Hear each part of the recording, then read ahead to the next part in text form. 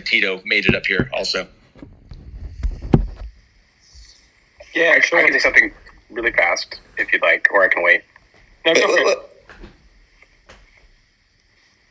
Uh, okay, let's break down like the nature-based versus uh, industrial-based, and like what is actually possible and what is still needed in order to make the large numbers possible. So, uh, globally, soil carbon could sequester maybe at most like uh, these numbers I'm going to give are like the total addressable market size. So we're not going to actually reach that. This is just maximum potential. Soil carbon is maybe five billion tons a year forestry estimates vary widely, anywhere from like 2 billion tons up to 20 billion tons. I think it's more likely on the lower end just because the land for uh, reforestation is often in competition with the land that is used to grow food. And as the population of the planet continues to grow, we will need to grow more food. Um, kelp is maybe two to four or five billion tons at the absolute most, and we are nowhere near anything approaching that type of scale yet.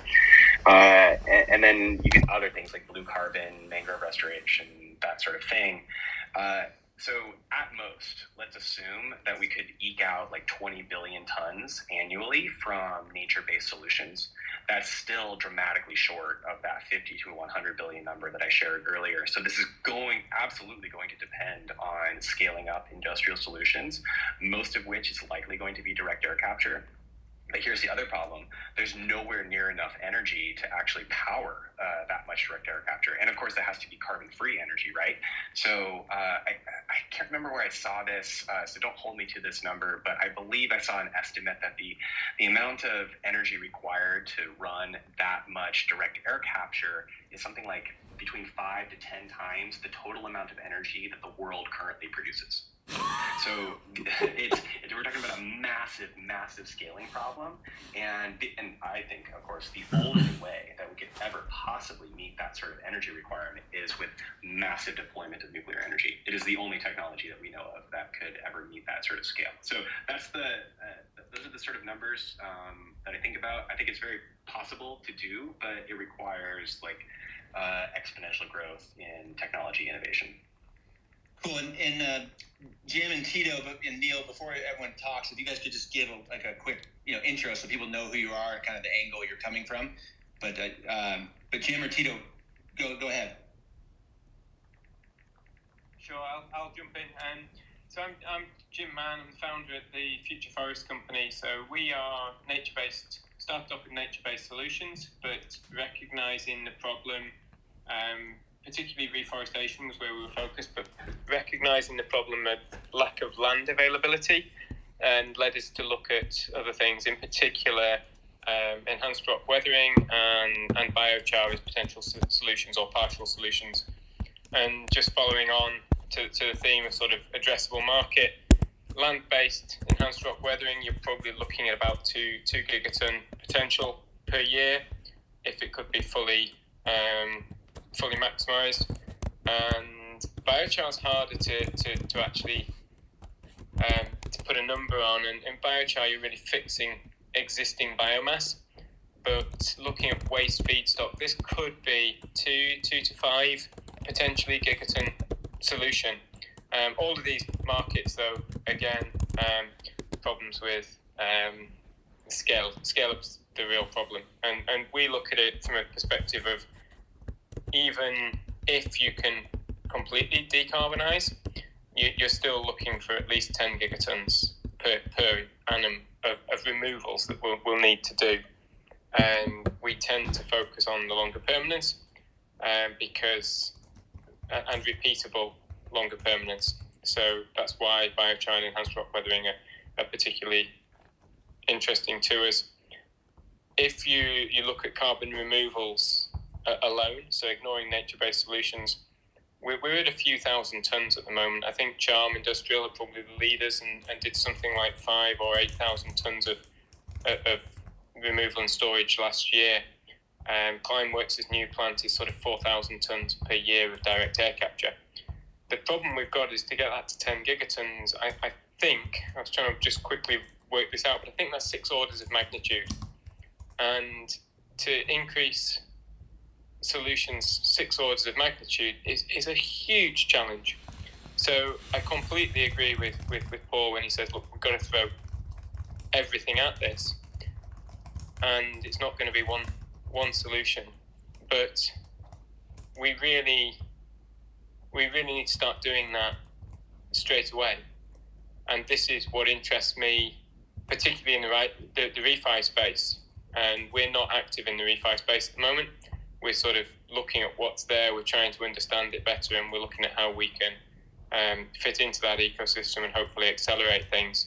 But it's that that broad reach and that ability to act beyond the scale of nation states that, that's going to be so important from from my perspective and and why refi is so exciting and so important that we can find these connections between effectively project and technology developers like ourselves and um, refi networks where the there is access to just this this huge scale. Um, and hopefully we can find those connections. So um, yeah quick, happy to I'll hand over at this point. Um, but we're we're looking for for people to you know to help us in, in those areas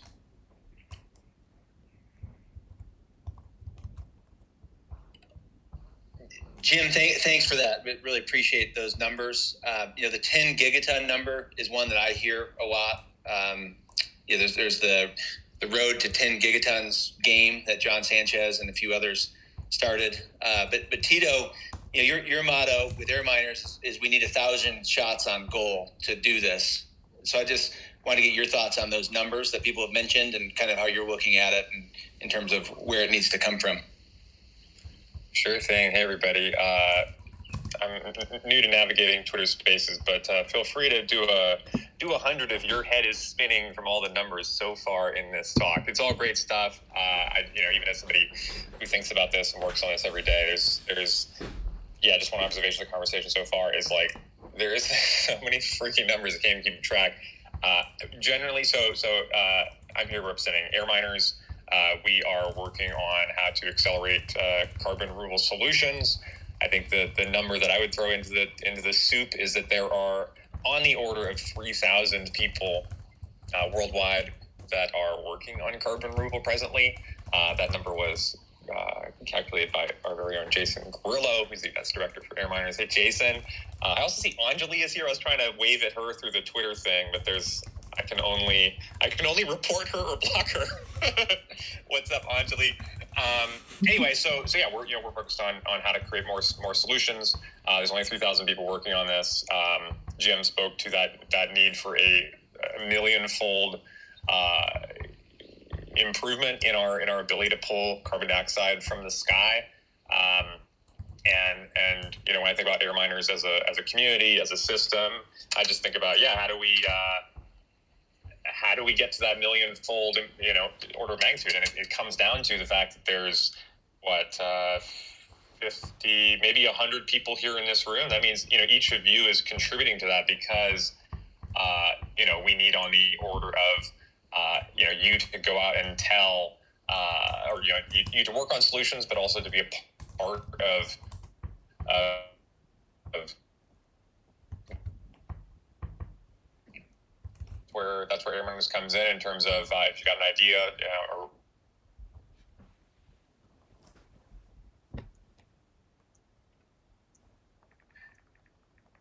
people thinking about about ways just just solve for this and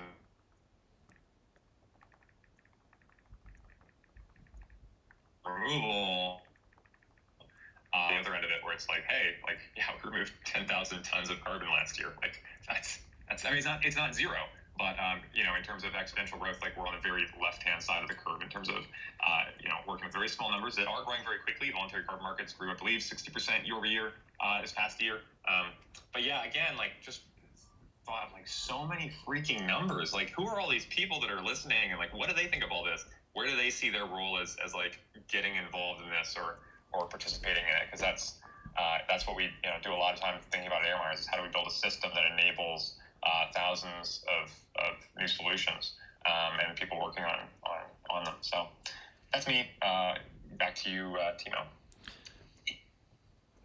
Go, go ahead, John. Yeah, cool. No, Tito, I so appreciate that. And just a quick kind of background and synthesis, um, because everybody's coming from a different space. Like, uh, depending on who you are, where you've come from, we're talking about carbon removals because of the problem of climate change, which is unequivocally linked to increased concentration of greenhouse gases in the atmosphere, one of which is carbon dioxide. And so, um, just want to make sure we're anchoring it to that that kind of central piece. And I also just want to kind of um, put out there that I think we can talk about carbon dioxide removals and the technology and the science all we want, but underpinning all of these challenges and crises is you know systemic social injustice and inequality. And I think we can look at these at the same time. I don't want to segue the conversation in that direction today, but every time I'm on these refi hangouts, I just really want to harbor. Um, this notion that we have an opportunity to redesign how society works for the people who've been marginalized through this process of transition of creating new forms of economies, new currencies, and new ways of interacting with natural systems. So I'll segue back to you, Timo. I know we've got some other people we want to introduce on the panel, but just trying to uh, yeah touch on that point because I think it's it's an important thing to to keep repeating. Yeah, no, great. I, I mean, I, I totally agree, John, and that, I mean that's why we're doing these in terms of, of the refi context. Like, carbon is just a component of this, and there's these whole all these other things that come along with it, right? With with monetary incentives, value exchanges, equality, uh, organizational structures, you, you, name it. Basically, the, you know, the society we, we have, right? I don't think our you know grandparents, parents, great grandparents like did it on purpose. They, you know, the opportunity at hand for them might have been potato farming. It might have been the gold rush. It might have been oil. It might have been e-commerce. It might have been automotive industry, you know, what you know, it might have been the, the semiconductor industry, like you name it. Their intentions weren't to basically degrade the earth and you know create this inequality that exists today. Uh, but I think we need to be more like intentional, right, John, about like how we do it is kind of kind of the, what what I see the refi community doing. Of like, okay, how do we do this intentionally? How do we design this from like a systemic and like systems perspective and um, you know, and actually reinvent the way we do things so it's regenerative and sustainable. Yeah, for people and the planet. Yeah, totally. Love it. Keep going, man. Love to see who else is on the panel. Seems like we've got some really interesting people up here. Cool. Yeah. Um, we have Tom, Neal, and Ongeleigh. Why, why, don't you guys introduce, you know, whoever wants to go, just introduce yourself, and we'll, we'll kind of move into the next uh, questions here.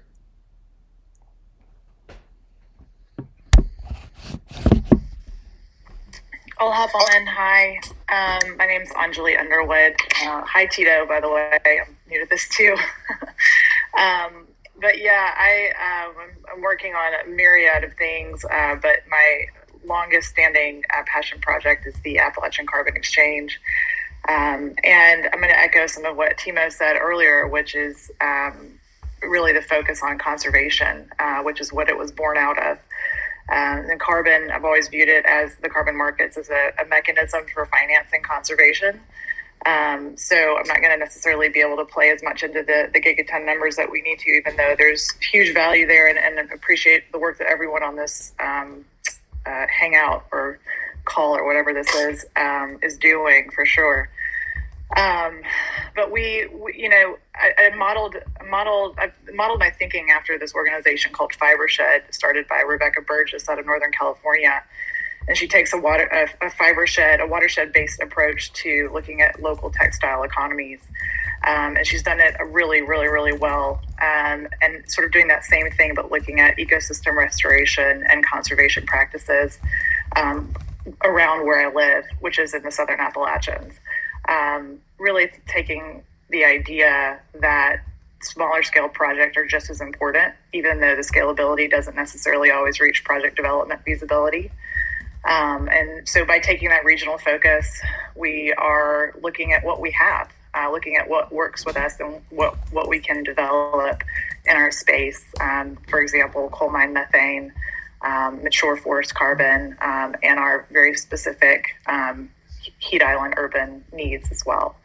Um, we're looking; these are all future future looking right now, um, but that's sort of the goal, and we are really excited to move forward um, and have some action, as well as engage our regional businesses in climate action, which is something that that is um, desperately needs to happen in this part of the world.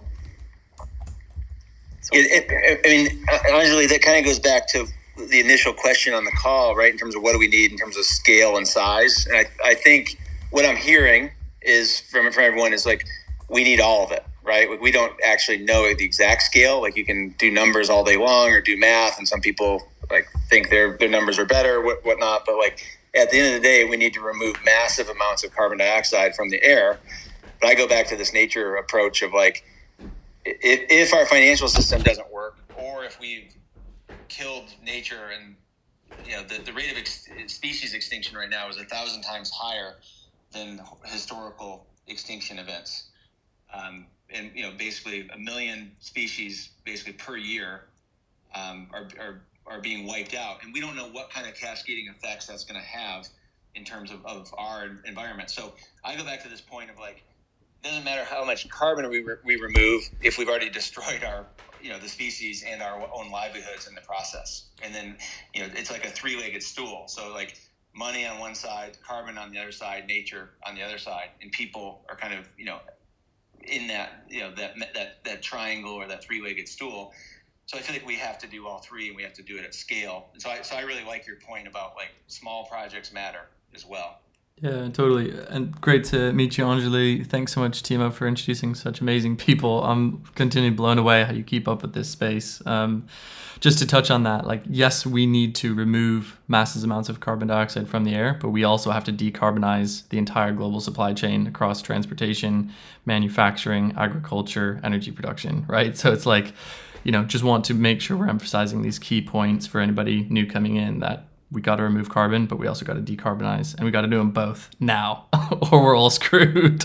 So if you haven't jumped on the climate crisis, climate action bandwagon yet, this is a great opportunity to see some of the ways you can get involved. But I just want to make sure that that's like a super clear narrative. Like we got to do both. Yeah, yeah. I, I go back, John, to the, the holistic approach, and you know, you and I have talked about the.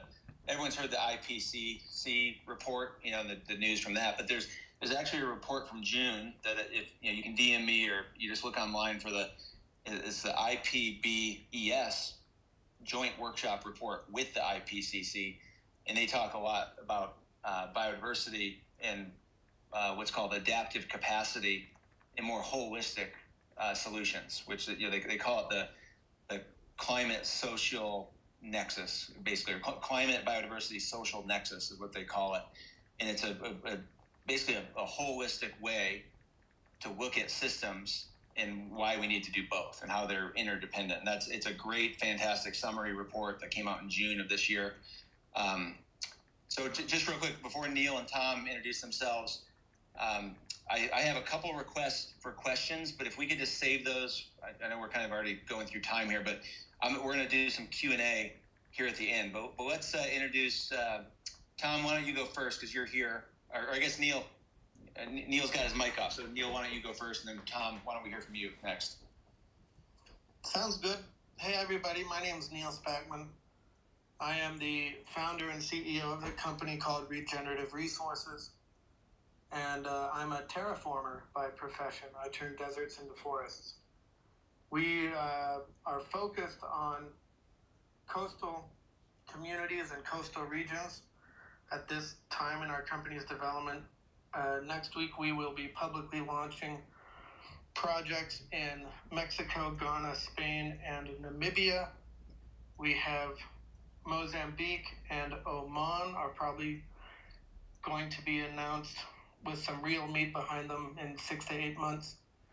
And what we do is we address the conflict between human development and environmental protection. The pithy line I like to use is that it doesn't make any sense to grow trees unless we address why people are cutting them down in the first place. So, what we do is um, we partner with local coastal communities, fishing villages uh, primarily, and uh, develop regenerative economies in partnership with these communities, which unlocks the space to restore degraded coastal ecosystems. Um, these projects are about to annou- announce their total pipeline cost is about 250 million.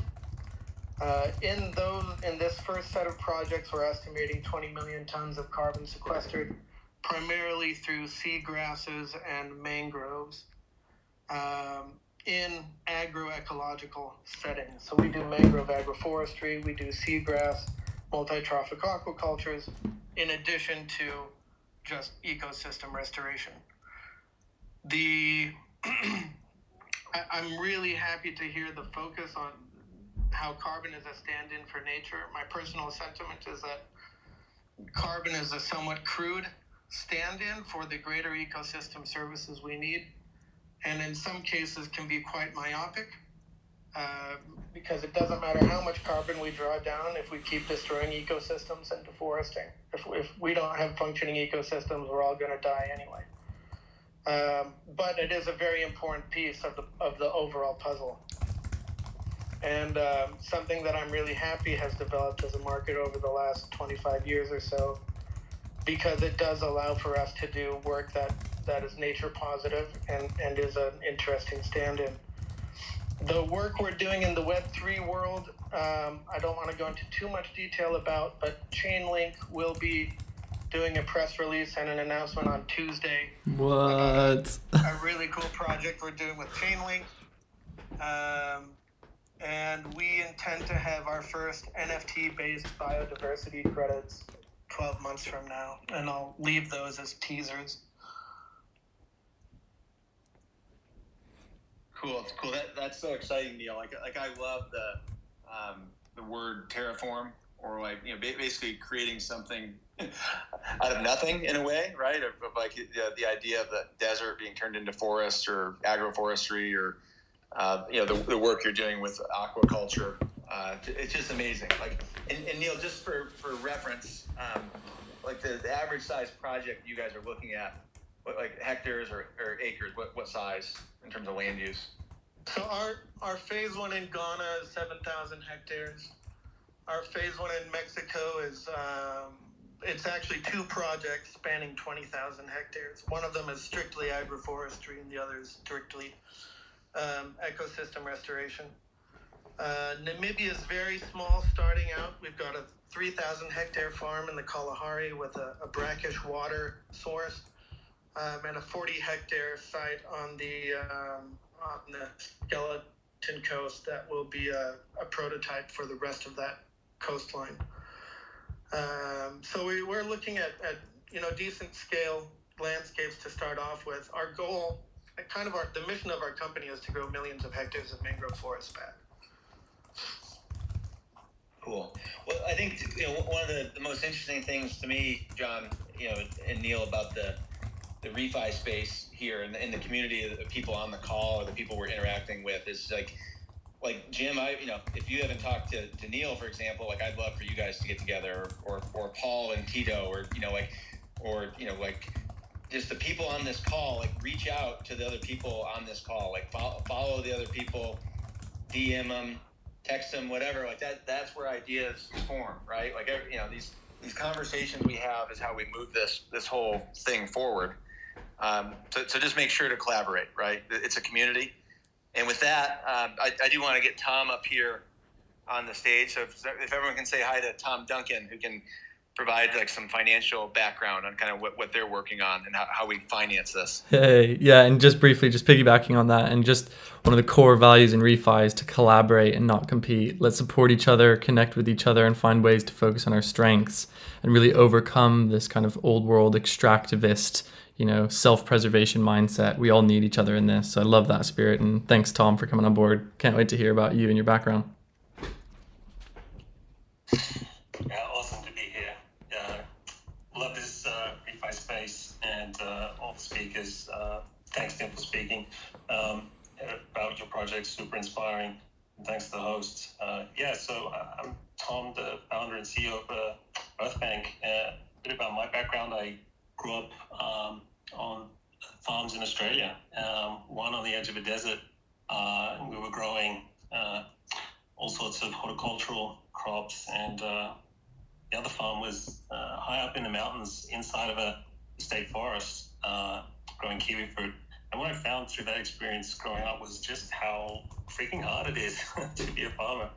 Um, I guess that formed some of my views uh, about you know some of the things that are really difficult um, transitioning to regenerative agriculture like our family was, uh, and the, the troubles and challenges you face. Um, at one point, interest rates got to about 20%. Uh, that was in the 1980s. Uh, and uh, yeah, that, that created a, a, deep recession.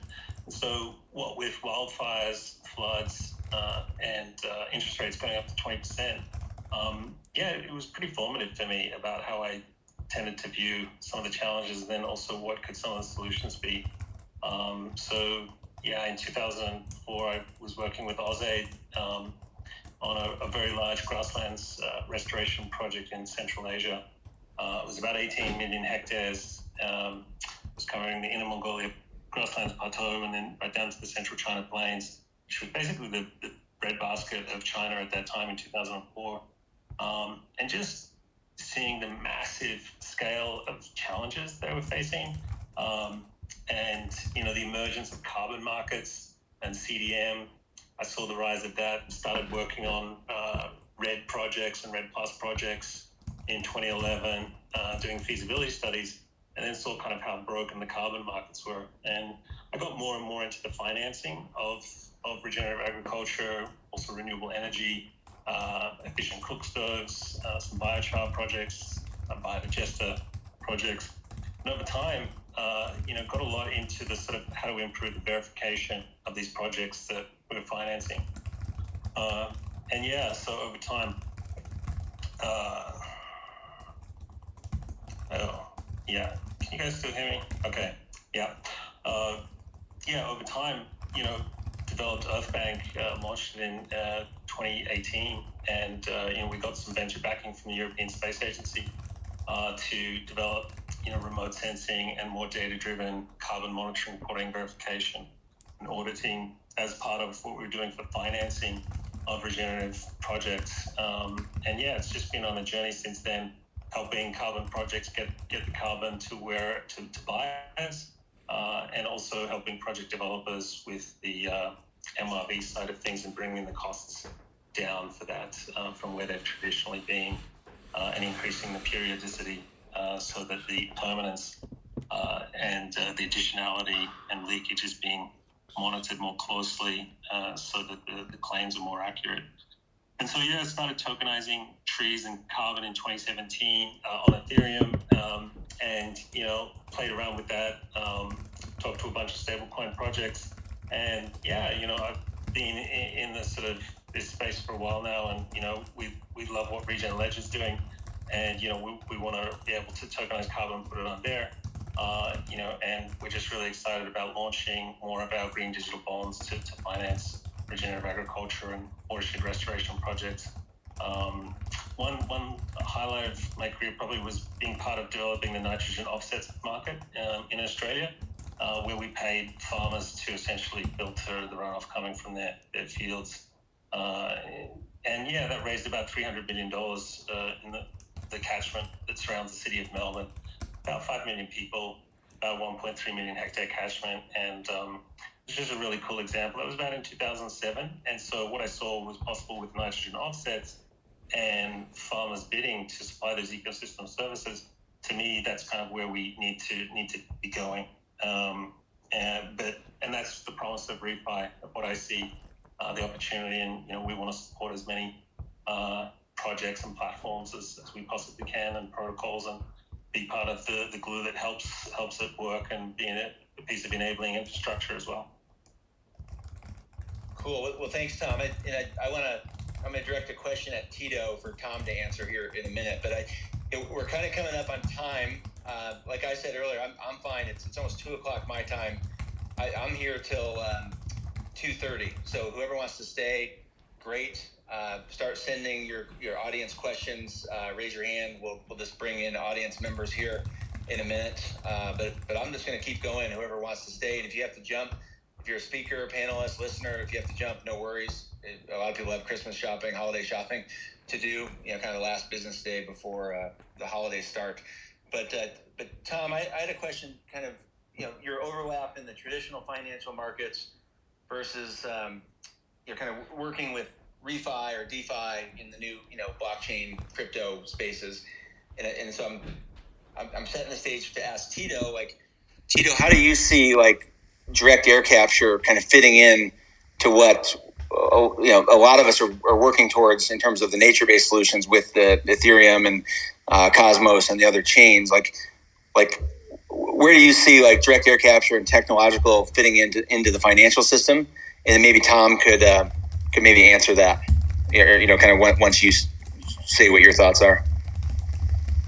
Okay, so the question is, how do how do I see a specific technology for carbon rule called direct air capture fitting into the uh, the carbon market?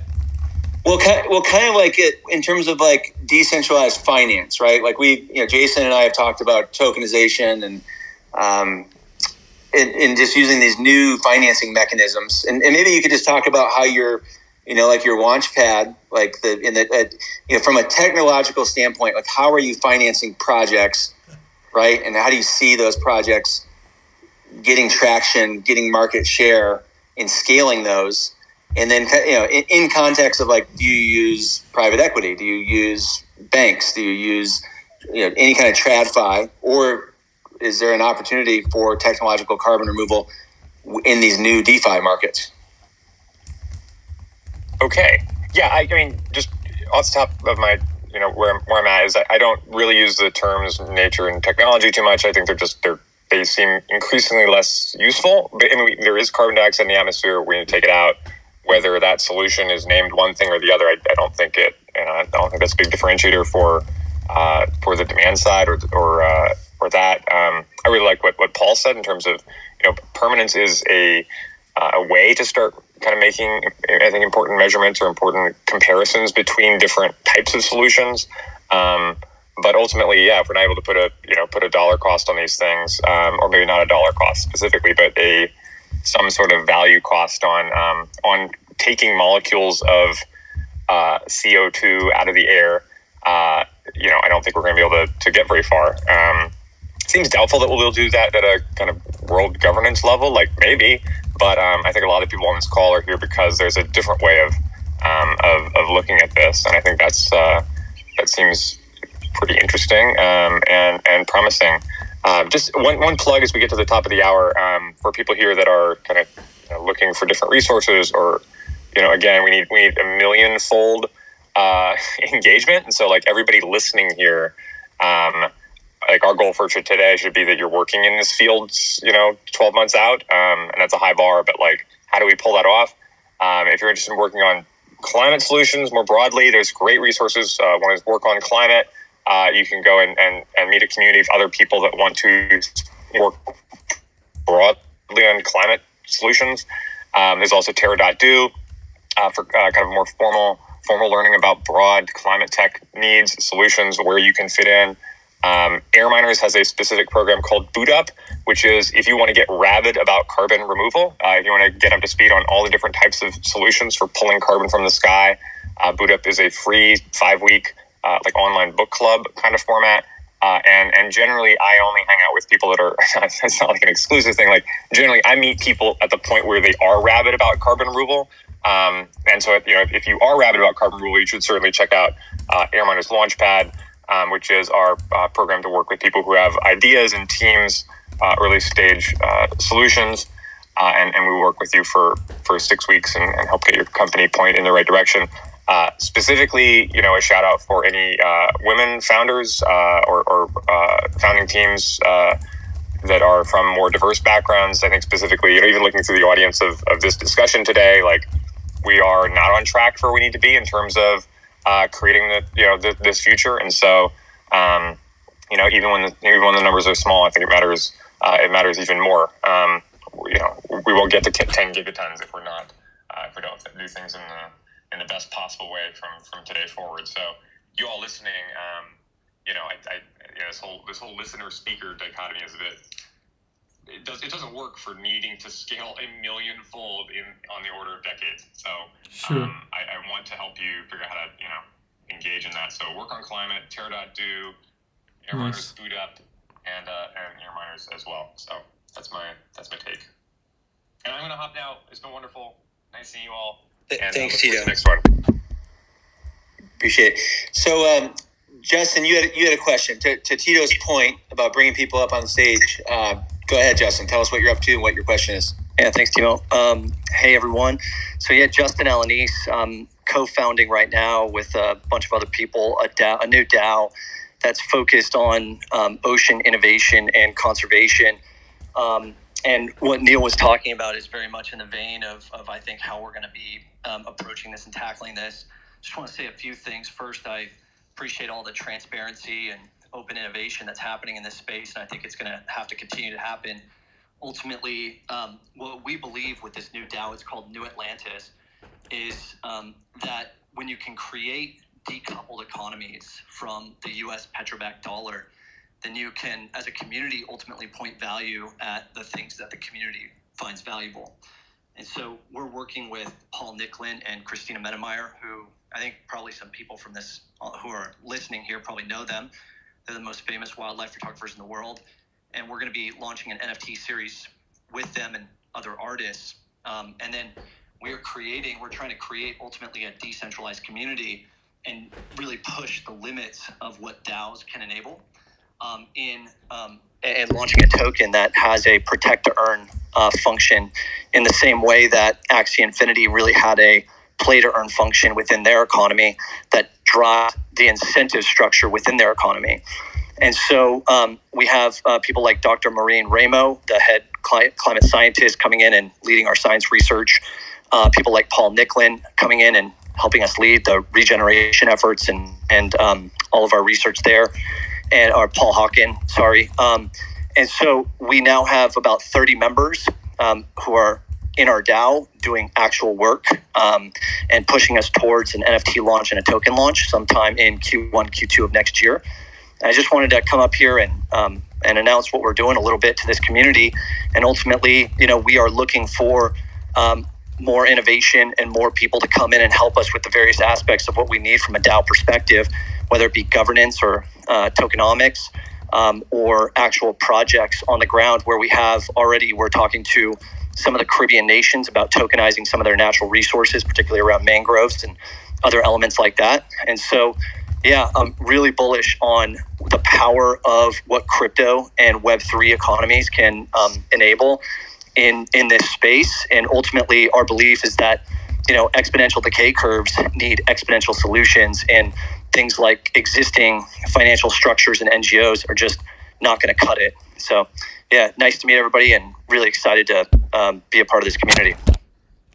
Yeah, th- thanks, Justin. Uh, that's super exciting. Um, you know, something that the, the refi we, we've discussed in the past here is you know building currencies, right? To, to what you hinted at, building a monetary system that's instead of backed on gold or, or oil or coal or, or God forbid even slavery, you know, back in the day or, or trade or whatever, um, it's, it's built on something that's regenerative or, or you know, what, what the term we keep using is positive outcome backed currencies.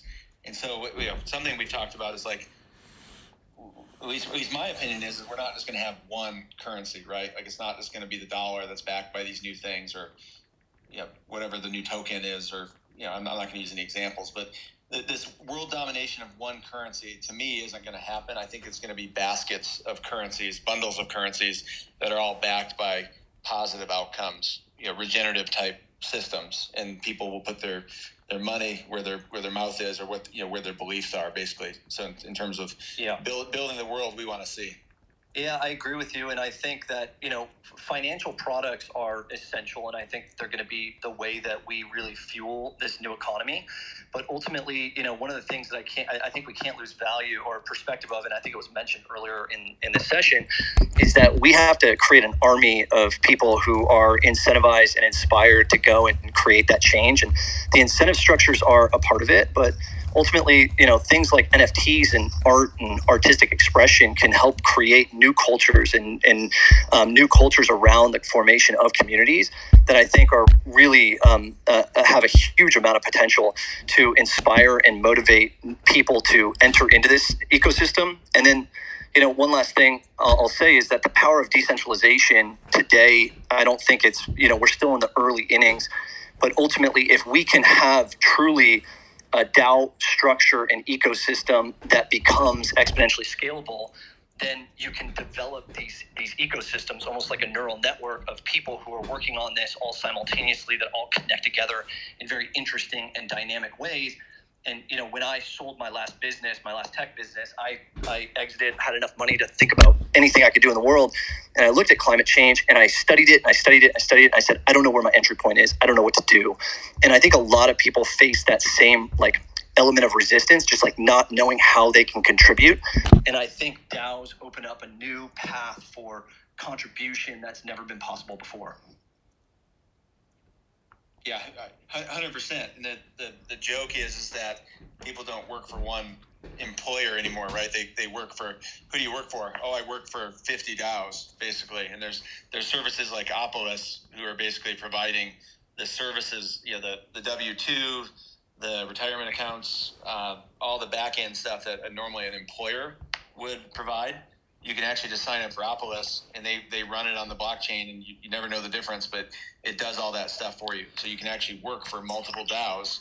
To your point, mm. you can hmm. hop in your DAO, you can hop in our DAO, you can hop in, you know, Klima DAO, whoever, and do, do work. Uh, Eden DAO. Um, but, but Justin, thanks for asking, you know, coming up and tell us what you're working on. And then um, I wanted uh, Jesse uh, we've had some really good conversations on Twitter, and you raised your hand, and I want to welcome you to the stage and what just, say hello. Just quickly before we uh, say hey, Jesse, I'd love to hear that. Um, I just want to emphasize one point of what you said, Justin. I was really blown away by you. Um, but just this idea that yes, we have this uh, potential for scalable exponential growth in decentralized communities like DAOs, but we need to really recognize that DAOs are largely being represented by a single group of humanity, which is white, middle class, or upper class tech people. And I think it's so important to recognize that when 50 or 60 or 70 or 80% of the world's population, that means that we're missing 80% of the questions, 80% of the opportunities, 80% of the unmet needs that we can use to drive really genuine systemic change that works for everybody, not just for the people who already have. And so I, I just want to encourage everybody in this space to look outward and recognize all the people who are not here and make sure that we're looking outward towards the fringes of society saying how can we remove the barriers to entry because not everybody can be on discord all day not everybody can you know have the time to learn how to set up a wallet and engage in these networks and just want to like really have that as a core concept in this in this um, community here but yeah love love to pass off jesse agree. and hear hear about you oh. Go for it. Sorry. hey guys, uh, I really appreciate everything that's been said. It's been an excellent uh, first spaces for me, and and I'm a real rookie here. I I just got into the the crypto and the kind of DeFi rabbit hole here this fall, and and I would say the refi rabbit hole is is just as deep as, as any other. It's it's been quite an interesting journey so far, and and I I don't come from tech or I you know uh, have a ranch and and work in the oil field uh, in Canada, and it's it's been very interesting seeing what's going on. There's a I think it's it's really amazing, and and I think there's a lot of room for uh, landowners and, and people on the ground to get their incentives aligned with with this, and it's just um, communicating that and getting everyone up to speed. And, and I just had a, a quick question, and, and hopefully it's not um, too redundant or whatever. But I was curious: is uh, today the, the topic was carbon and natural capital, and is there a is there any kind of marketplaces for natural capital or, or biodiversity right now, kind of like the voluntary carbon market, or is is that what everyone's trying to to build right now? Um, yeah. Why, why don't t- Tom or Neal? One, I mean, I have some ideas, or maybe Jim. One, one, one of you guys answer. I think Tom might be the best position to talk about the market. I'm not waiting for a market on biodiversity credits to emerge. I'm just going to make biodiversity credits and throw them out on the market and see who values it. Uh, and then, may, you know, it's a bit of a chicken and an egg thing. What the way we're doing that is we are using eDNA data, where we take soil and water samples and work with a group called Nature Metrics, who can analyze all the strands of DNA within that vial of water and tell you every every species whose DNA is floating in that water. And we're also using bioacoustics where um, you put up microphones on a site. These microphones record all the sounds made by nature and people on that site. It's pumped through an AI system that recognizes the sound of every unique species. So we're, Wow. we're using these two main tools to track biodiversity change on the land that we manage. Um, in a previous iteration in Eritrea, we had a 1,000% increase in bird biodiversity. That was not done with nature metrics and bioacoustics. Those technologies weren't out yet. But that's that's data that's verifiable that we don't control, and we're going to attach that data to NFTs and put it on the market and say, okay, here's So the cool. biodiversity credit. Who wants to buy it? Love it. Absolutely love it. I'd love, um, Timo, if that's cool, to hear from Claudia Herbert, who's a Berkeley PhD candidate that I uh, happened to stumble on Twitter a couple weeks ago. She had a really interesting thread, um, kind of under, yeah, unpicking the KlimaDAO theory of change narrative, and had a really amazing conversation today. Um, Claudia, I've seen you accept the request to speak. You happy to just say hey, introduce yourself, and share some of the stuff that you've been thinking about? Yeah, sure, of course. Um, I mean, I, it's great to hear everyone is working on such different projects, and I think even just the discussion about like how we're valuing permanence, or like is it important to have distinctions between natural versus like engineered solutions? I think all of this is like really fruitful and amazing that so many people are working on it.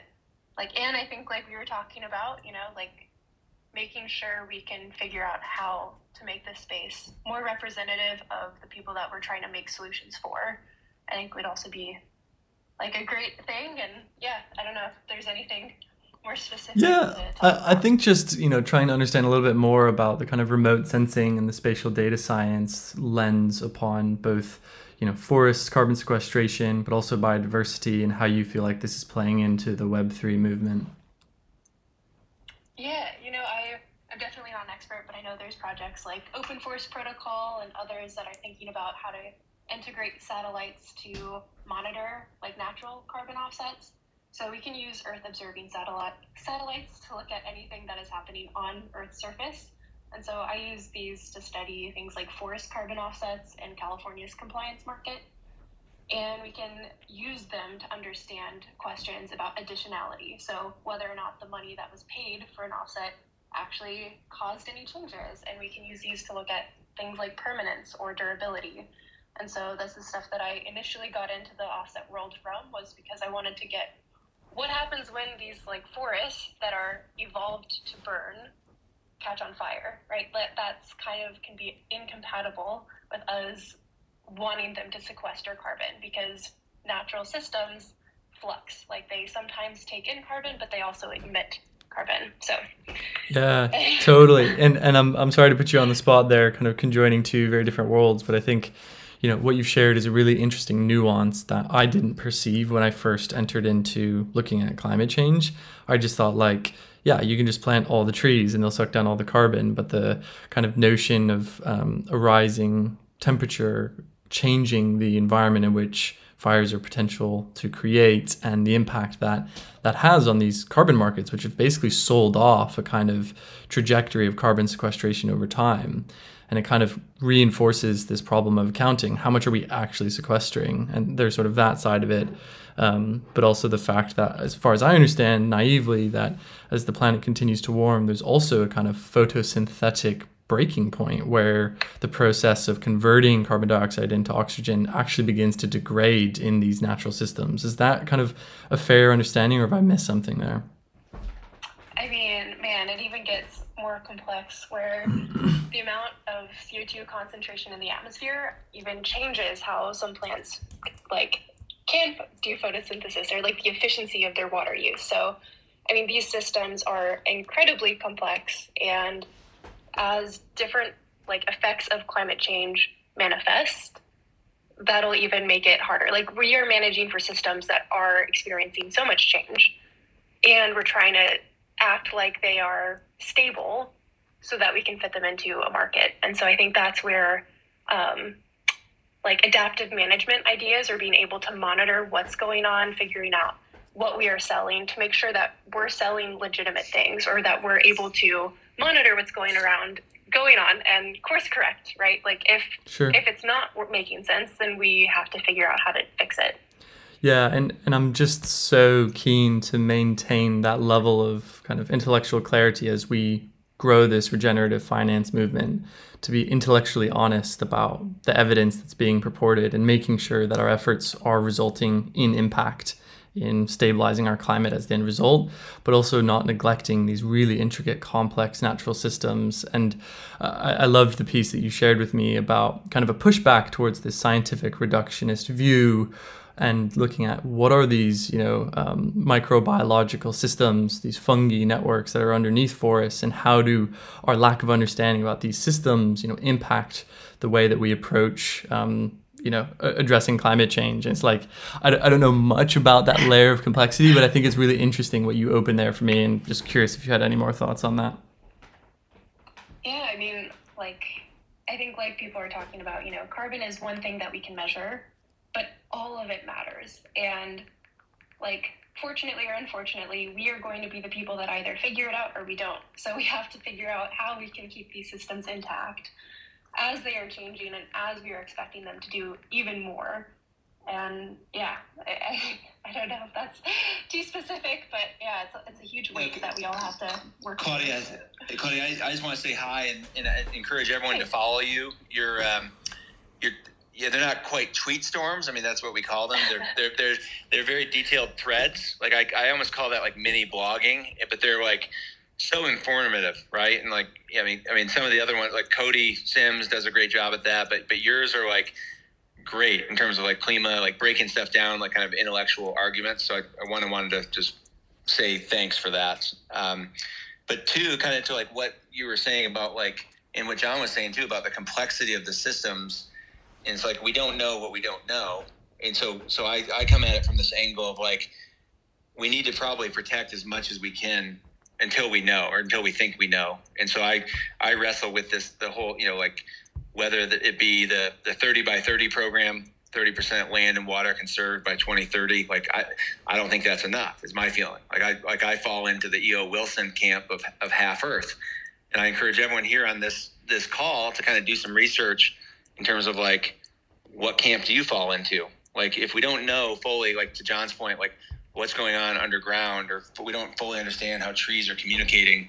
We don't fully understand what that what a species decline or you know a, a, a, a extinction, extinction curve might do to the overall system. Like we probably need to just play it safe is kind of kind of my argument. So i, I just want to get your thoughts on that. Yeah, I mean, I definitely think it's interesting to watch how we do conservation efforts. And as someone who like comes partially from a land use background, there's definitely can be like competing needs for different lands. And I don't know, I just I want to put out there that I really believe that like humans are part of nature, and you know, working lands are part of ecosystems. Like all of these things, we have to figure out how we can support all of them. And oftentimes, some of the early implications of carbon offsets were actually like coming into conflict with indigenous land tenure. And like, you know, we have to really be mindful and be watching what we're doing so that we can like honor all of these systems, right? Like it's not just the carbon accounting or just the ecosystems. It's also like how are the communities surrounding those places surviving and are their needs being met? And is it being managed in a culturally appropriate way? Like I think all of these things have to be like equally important because you know we we you know humans are part of these systems as well. So not to not to make it easy, it wasn't ever easy for us. And, and, and John, you, you probably know what I'm going to say next in terms of, of directing everyone to the core benefits label that we, uh, the, the, the climate sprint we did this summer. Sure. Claudia, I- I'll, I'll send it to you, but uh, basically looked at instead of you know doing a carbon project where that's the primary benefit and everything else is a co-benefit, we, we looked at externalities and biodiversity and ecosystem services and said, okay, how can we reframe the narrative on this? And so we, you know, we came up, and other people have worked on it also. But the idea is that everything is actually a core benefit, and it's like this holistic lens that we we should all, you know, not not to preach, but we should all be looking through in terms of like water quantity, water quality, species, carbon, biodiversity, jobs, income, profit. I mean, like all, all these different nexuses, energy usage, and like oh, oh, you know, any piece of land use should go through a lens like that. You know, it's it's almost like a, a shortened LCA, you know, type assessment of like, okay, how can you make your project better and, and more holistic.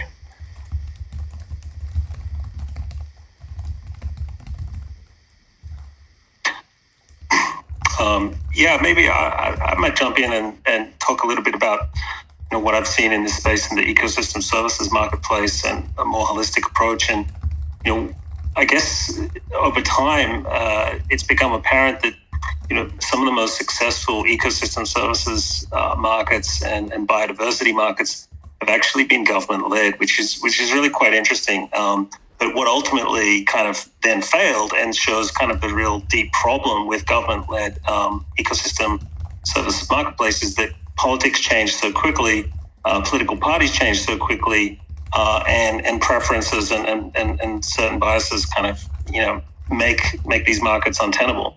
And so what I've seen is there's in the past there's been very high levels of coordination uh, to achieve uh, ecosystem services market outcomes. Um, I was involved in something called Biodiversity Broker, uh, which was um, selling biodiversity credits. Um, that was alongside nitrogen offsets, alongside carbon offsets. And so Australia's got some of the most advanced uh, examples, I would say, um, that have been, you know, fully data backed as well, um, much more data driven. But ultimately, so so so I see this big challenge, you know, uh, in the refi and DeFi space and DAOs is that you know previously the most successful examples have been very kind of centralized government policy and extension officer led and, and basically funded by grants and taxpayers. So I guess the challenge I want to throw down to uh, this community is to say, well, how can you uh, get better levels of coordination? Uh, and how do you actually do that and achieve coordinate, coordinated outcomes? Uh, and I think this is really the promise of refi and that's why I'm so excited about it because I know uh, so many people on this call uh, and out there as well working on this exact thorny problem of how do you achieve uh, seriously high level coordination uh, so that you can get um, you know markets agreeing on how to price positive externalities versus negative externalities. Um, so we're working with a number of DeFi projects. Uh, so please, if you're a DAO, DeFi project, uh, Carbon Refi project, please get in touch. Uh, you know, we we're here to help, um, particularly on carbon permanence um, and doing full ESG audits uh, of projects as well, and helping arrange some of the bridging finance. So often projects really struggle in the early days to get money up front to do the initial design documentation. And so I guess what we're trying to do is bridge um, CeFi, DeFi into refi. Uh, and uh, yeah, we're, we're here to help in that regard. So yeah, I just wanted to put that out there for everyone. That, that's awesome, Tom. That's, I mean, that's, you know, kind of to what John said earlier in terms of like offering a helping hand or like collaboration rather than competition, like that, that those kind of offers, right? Or like what's going to make this movement happen faster, better, more efficient, um, and make it scalable. Um, we, we have a few more questions uh, before time's up. Ignacio, say hello. You. And, yeah, let us know what you're up to. Oh yeah, uh, well, I'm here from Chile speaking. Uh, I have seen you uh, Twitter through the other account, uh, Endangered Tokens. I, I, I, think we have talked about it a little bit. We were a startup, and um, I, am so humbled to be here, uh, I, feeling part of this movement, uh, this refi movement. Um, we've been working alongside my co-founder um, from over like a year now, and um, we're we're working on the protection of endangered species through tokenization. So nowadays we're working here in Chile protecting the species Gomortega keule is an endangered tree only present here, endemic species that it's only 4,000 specimens are alive now in the world.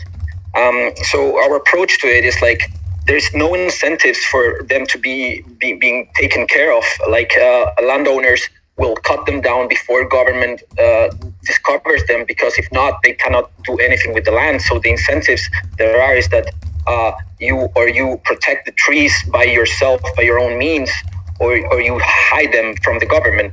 So we, we wanted to, to change that. We wanted to, to change the incentives towards uh, protecting these trees. So we thought about NFTs, and I, I resonate so much with what um, uh, uh, what's well Neal was doing biodiversity credits, and then this guy from Atlantis DAO. So it's so similar, but on an, from another perspective. So we're actually uh, have to- tokenized the first 26 Keolis, and we will be launching this NFT soon. Uh, we we are a little bit late actually. We, we hoped to launch the last last week, but we're probably gonna last a little bit longer. And at the same time, in order to, to, to support this ecosystem, to keep the incentives running, we are doing collaboration with artists that will support this ecosystem. So the actual stakeholders of the tokens that we will be selling, the, the, the godparents of these trees, uh, when you buy this tokenized tree, you will become like the godparent. You will be able to foster further uh, protection of this tree, and you will be able to actually receive gains from these collaborations with, with, with artists. We're going to do tourism regarding the protection of these ecosystems and reforestations around these endangered trees.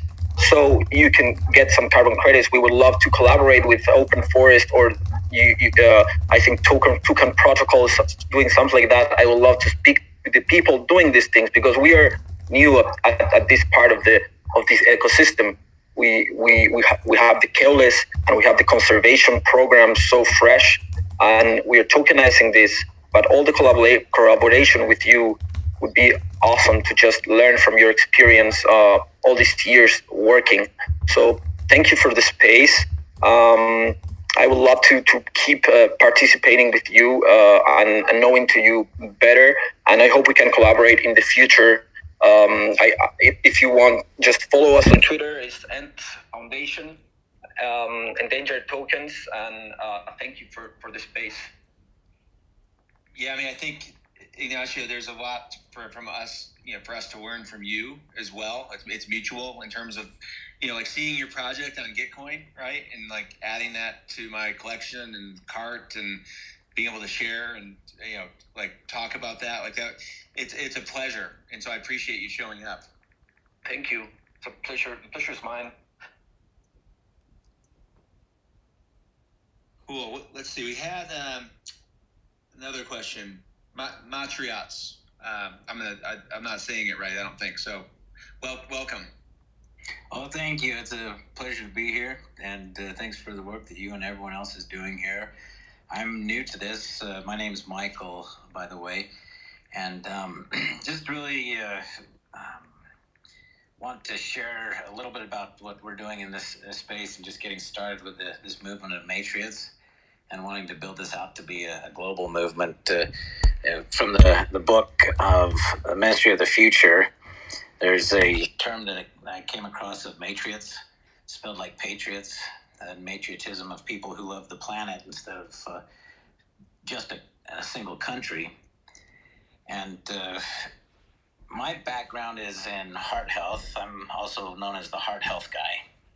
And as I've dug more into heart health, the thing that is healthiest for humans is the same thing that's the healthiest for the, the planet. And to, uh, you know, heart health and earth health are inextricably connected that uh, if we would eat fewer animals, and the as you all know, the animal industry is uh, agriculture industry is the second largest contributor behind buildings to to producing carbon.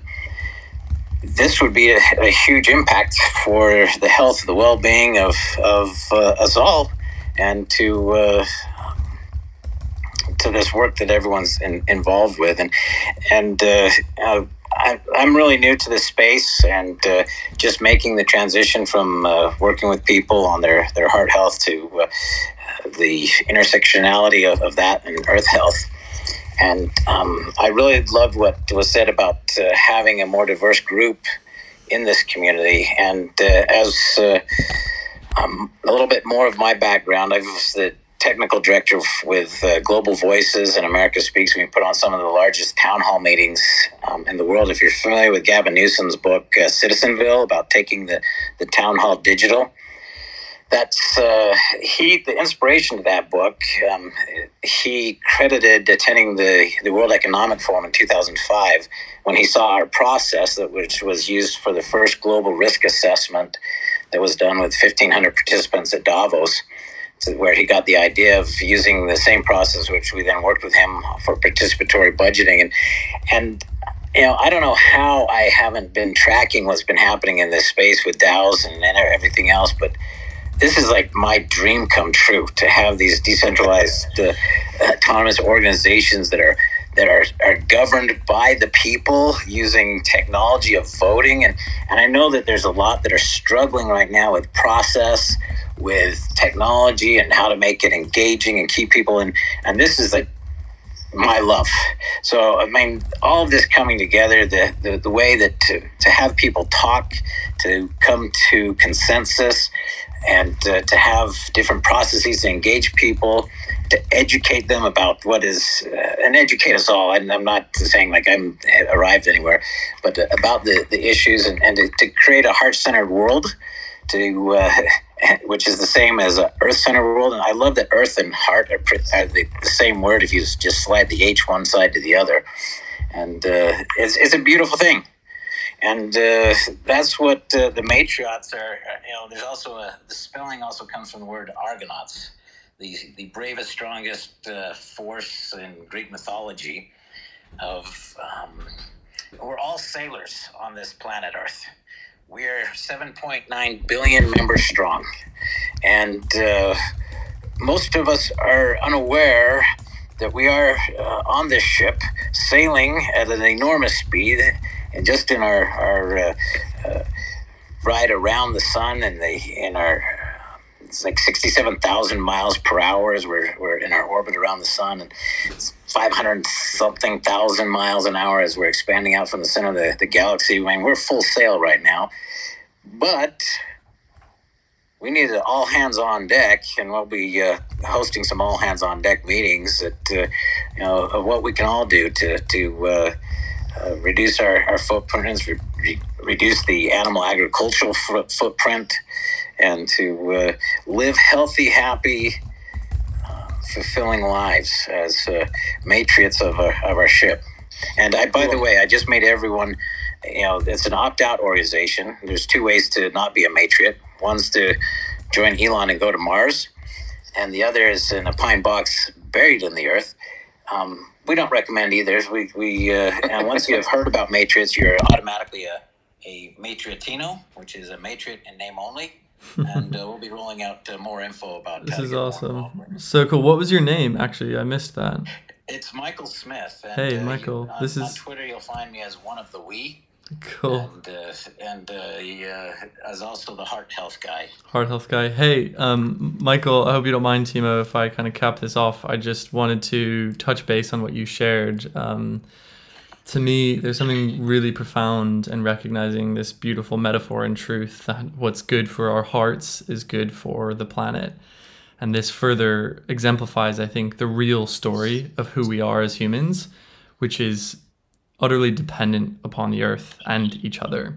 And that when we resonate from our heart space and come from a place of love towards one another, towards the planet, and we realize that that which we do unto other people and to the planet, we do unto ourselves, beautiful things can happen. Because the suffering of my neighbor is not the suffering of my neighbor, it's the suffering of myself. And the pollution in the river is the pollution in my veins. And I think if we can take this consciousness forward, we can fight this crisis and build a better future for tomorrow. So thanks everybody for your time. It's been really special. Yeah, yeah, all over. Yeah, yeah, and, and Michael, just also goosebumps. Uh, I don't know if you saw my tweet about chapter 85 in Ministry for the Future. Um, to me, and, and John, I don't know if you've seen that either, but if you read, just just pull out chapter 85 in Ministry for the Future, and it talks about all the different groups like reforestation and um, desert desertification and heart health, and I mean just the names that Kim, Kim Stanley Robinson rattles off on those four or five pages in that chapter, it, it basically gives me chills every time I read it because I feel like the people on this call and the people working in this space are those people. I, I really feel like we are the ministry for the future. So, with, with that, I, I appreciate everyone's time. John, it's a pleasure as usual. We're, we're going to figure out the next week, and you know, we got some holidays coming up. But I, and, I, I'm going to go over to uh, Clubhouse with uh, Kianga and Anchor Acre DAOs. So if anyone wants to join us over there. Thanks, everyone. Awesome. Epic chat. Cool, cool. And just quick question anybody who is here today, tweet out what you'd like to talk about next week. If you're really passionate about a particular lens, we want to crowdsource this and also create an opportunity for other people to host, share conversations, and really expand the reach of who we're talking to and who we're connecting with. So, yeah, thanks everybody. It's been really special, and uh, we'll see you next week. Happy holidays, everyone.